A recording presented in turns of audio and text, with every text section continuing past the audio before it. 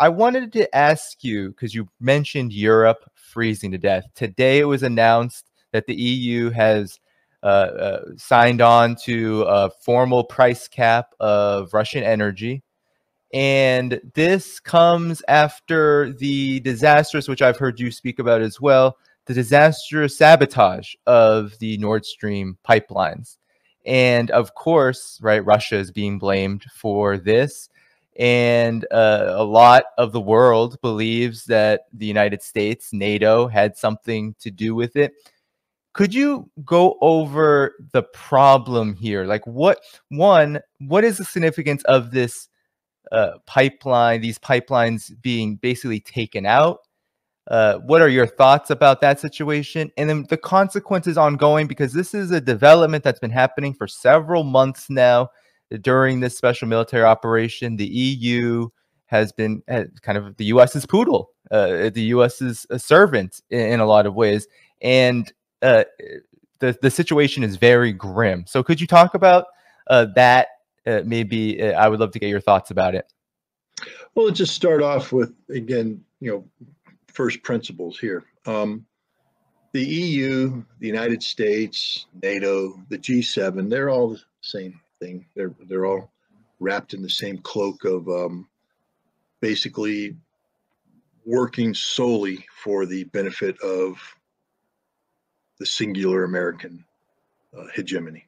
Um, so America is dictating policies and, and, and such they have collectively denigrated Russia as being little more than a gas station disguised as a. Okay, I mean, if, first of all, it's wrong, but let's just play the cute little game. If you're going to call Russia a gas station, then you should at least respect them as a gas station, especially when you're an automobile and that's the only gas station around. Um, and if you want to start cutting yourself off, sanctioning the gas station, you're going to find yourself in the middle of nowhere on a four lane highway uh, with an empty tank and nowhere to go. And that's where Europe is right now. Um, the, the, the hubris of Europe to think that they could put a price cap on, on Russian energy, it's just ridiculous. It's going to backfire. Um, the, you know, these are people who've already dug the deepest hole possible, and they're just continuing to dig the hole deeper. The, uh, the only solution for Europe was to go back to Russian energy. That was the only solution. There's no other option out there. There's nothing viable uh, that's going to save them from this. Um, and that's you know what happened with you know why the United States struck Nord Stream. And I'll tell you why I believe it. Um, well, first of all, let's just talk about that for a second. There are people sitting in jails around the world who have been convicted on circumstantial evidence that is weaker than the circumstantial evidence that we have regarding America's role in striking the Nord Stream pipelines. First of all, we have a clear statement of intent from the President of the United States himself, who said that if Russian tanks cross into Ukraine, he will shut down Nord Stream 2. It will stop functioning. Um, that's the intent.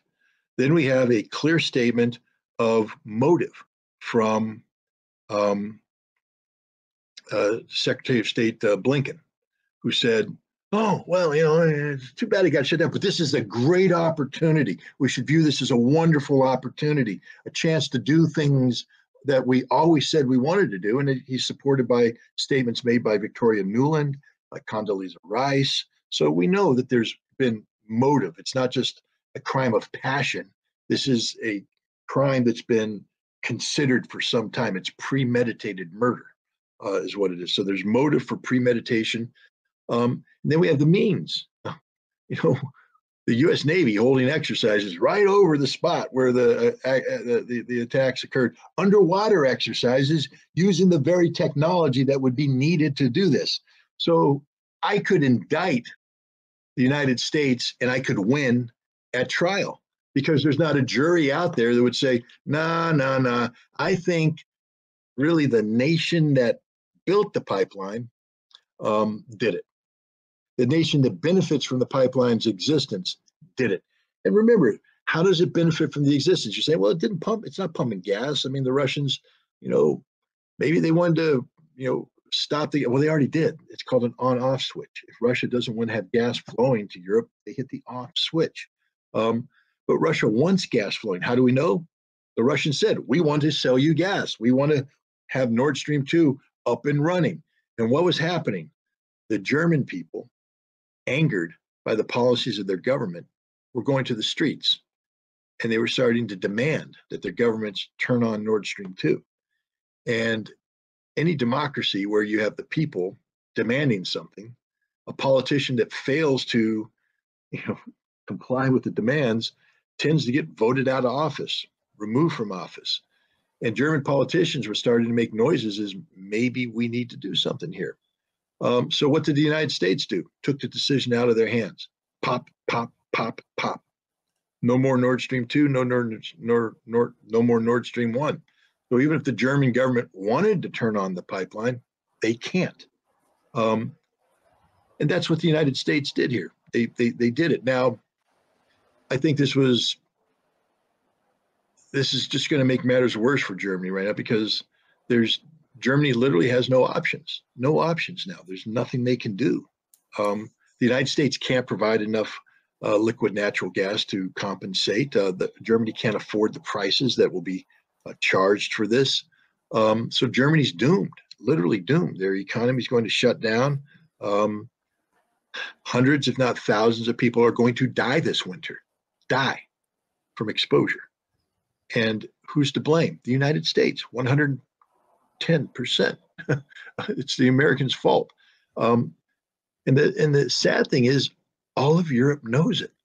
This isn't a secret all of Europe, even in the United States where we pretend, ah, the Russians did, the Russians did. Well, Michael Rubin just wrote an article in the in the National Interest where he said, "Hey, maybe Biden should do to Turk Stream, you know, the, the, the Turkish pipeline that feeds gas into Southern Europe, what he did to Nord Stream 2." He doesn't say what he did, we know what he means. Blow it up. Uh, he said Biden. He, so he clearly said Biden shut down Nord Stream 2. Biden did it. Well, how, why? Because Biden said he was going to do it.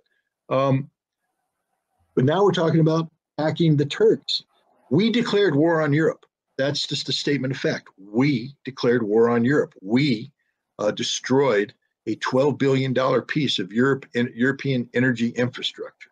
Um, we have condemned the German economy to collapse, a collapse that hasn't been seen since the end of the Second World War.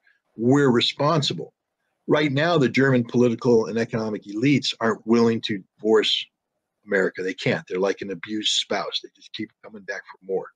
But over the course of this winter, I think you're going to see these political elites removed from office. I think you're going to see these economic elites becoming um, irrelevant because you're not too elite of an economist when your economy is collapsing. And they're going to be replaced by uh, new power structures that will be more inclined to view the United States as the problem and Russia as the solution. So this back, I believe, in the long term, this will backfire dramatically for the United States. That um, there's no way the United States walks away from this unscathed, because right now uh, the damage to Germany is still theoretical. Um, at some point in time, it becomes reality, and that reality brings with it a political consequence.